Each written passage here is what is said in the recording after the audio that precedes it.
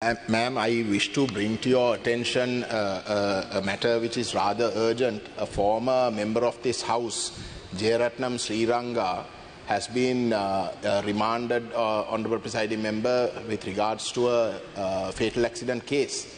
And the remanding was done under the old law of witness protection, which has been amended in uh, 2023, this year and all the witnesses under that uh, previous law have been released except for Mr. Sriranga.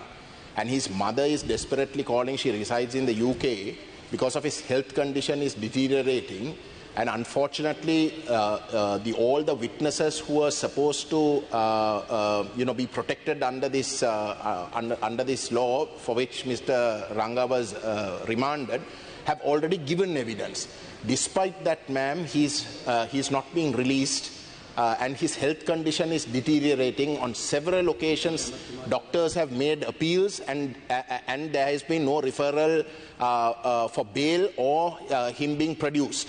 And therefore, I appeal to you, uh, Honorable Presiding Member, uh, to use whatever good offices that you have uh, with the Honorable Speaker and also members of the government to convey to them the urgency of this matter. That poor lady resides in the UK and she's Thank out you. of desperation. She's I'll, raised- I'll bring that notice up to the Thank you. Honourable Speaker. Thank you.